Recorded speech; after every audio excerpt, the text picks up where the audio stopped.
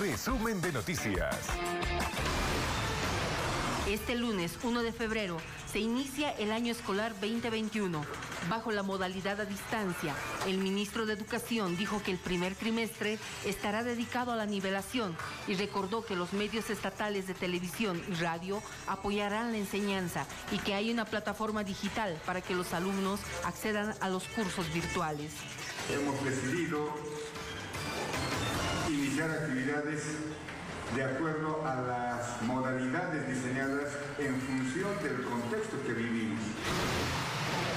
El personal de salud exigió esta semana al gobierno municipal del Alto el abastecimiento de productos de limpieza y medicamentos. En una inspección realizada por la alcaldía municipal, la autoridad de salud les responde que se dota de lo necesario, pero también admite que por la alta demanda no se puede acceder a algunos medicamentos.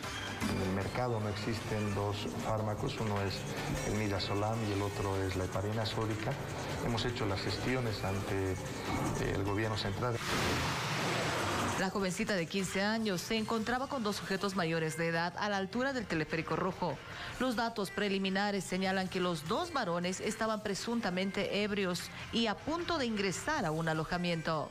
Ante esta circunstancia y con esta justificación motivada, intervienen a estos dos sujetos quienes no dan cuenta ni razón por los motivos y eh, las circunstancias y las cuales estaban ingresando a ese centro de hospedaje. El centro de Ronnie, ahí está.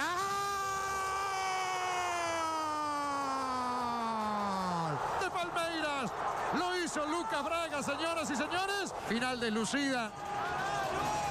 Final sin buen fútbol. Simplemente una final. Resumen de noticias.